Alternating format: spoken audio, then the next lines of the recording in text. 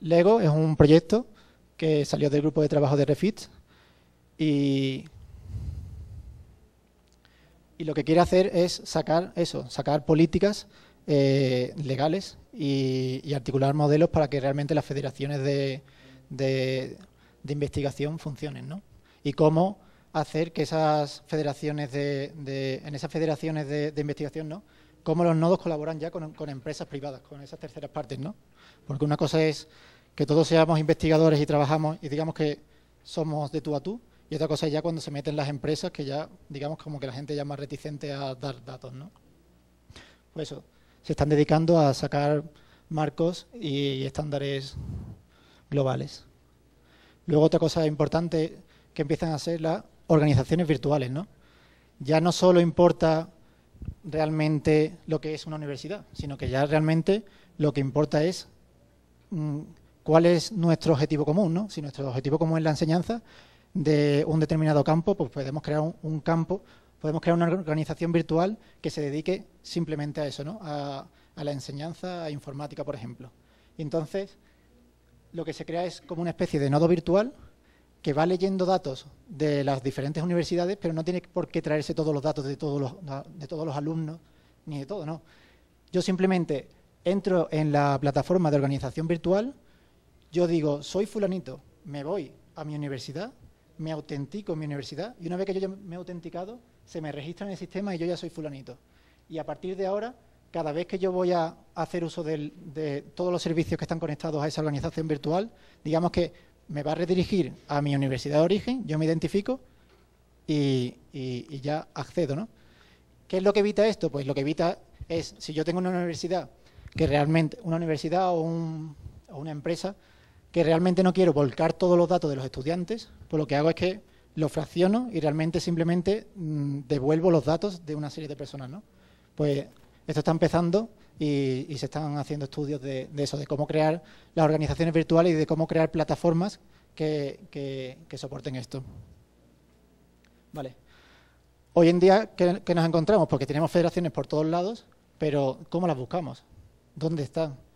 Pues este proyecto PER es, una empresa, es un, proyecto que lleva mi empresa. Ahora se está viendo eso, que existen multitud de, federaciones y realmente se están extrapolando ciertos datos que, realmente mm, gustaría investigar, ¿no? como cuántos accesos se hacen al día en una federación o, qué recursos realmente se está invirtiendo cada federación.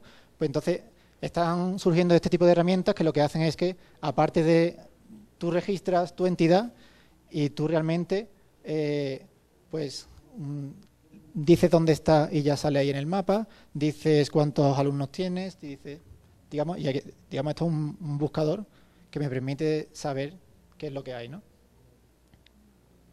Vale. Otro problema, el servicio de descubrimiento. Ya lo adelanté antes cuando estaba explicando el SIR.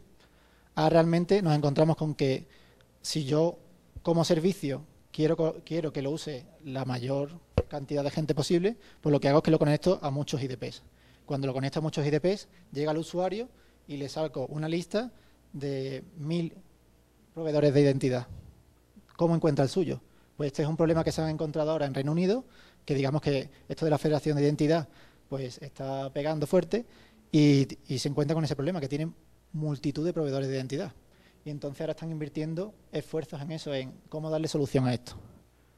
Esto es un ejemplo, pues, y dando interfaz en el que tú vas pulsando en la zona geográfica en la que tú sabes que está tu proveedor de identidad y te va filtrando ahí. O tú escribes ahí buscar por el nombre y te va saliendo tu identidad. Esto ahora mismo es una vista que se está mostrando en el nodo central, pero también lo puedo tener en mi propia aplicación, ¿no? Yo pincho en loguearme y automáticamente me sale una pantallita que se carga por, vamos, yo no, yo no, yo no he abandonado la herramienta. Ahí directamente me dice cuál es mi proveedor de identidad y directamente voy a ir para allá. Esto es lo que se llama un servicio de descubrimiento embebido, que es en la propia aplicación yo digo de dónde soy y ya directamente voy a ella. No tengo que ir a un nodo central para descubrir. Otras cosas que están haciendo, por lo que estaba, lo que estaba comentando, están, está empezando a explotarse y a, hacer estudios de monitorización del uso de cuándo hace de la gente, porque claro, antes se hacía una explotación a nivel local, Pero ahora lo que tenemos, si tenemos una, federación que tenemos 10 universidades, pues a lo mejor no, nos interesa saber cuándo acceden los alumnos y tal, ¿no? Entonces voy a poner muy rápidamente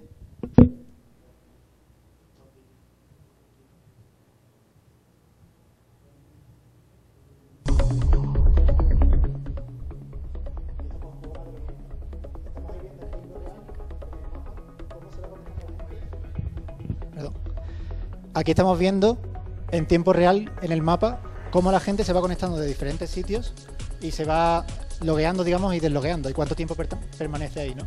Pues en esto se está trabajando también ahora, ¿no? En, cómo monitorizar cuándo accede la gente y cómo accede y de dónde. Pues son pantallas que, que te permiten ver estas cosas, ¿no?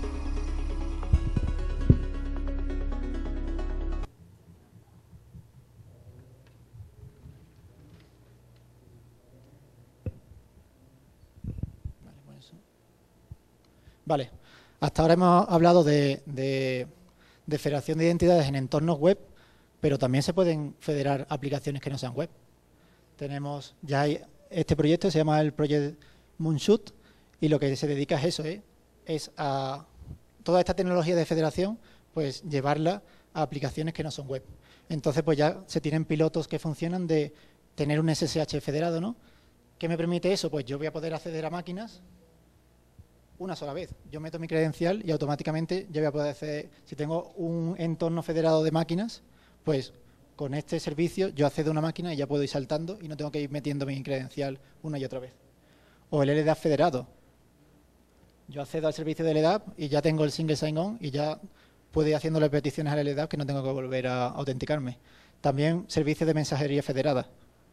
Digamos que yo, yo me logueo en la web pero automáticamente también estoy logueado en mi servicio de mensajería en el Jabber y puedo hablar y no tengo que ingresar mi credencial.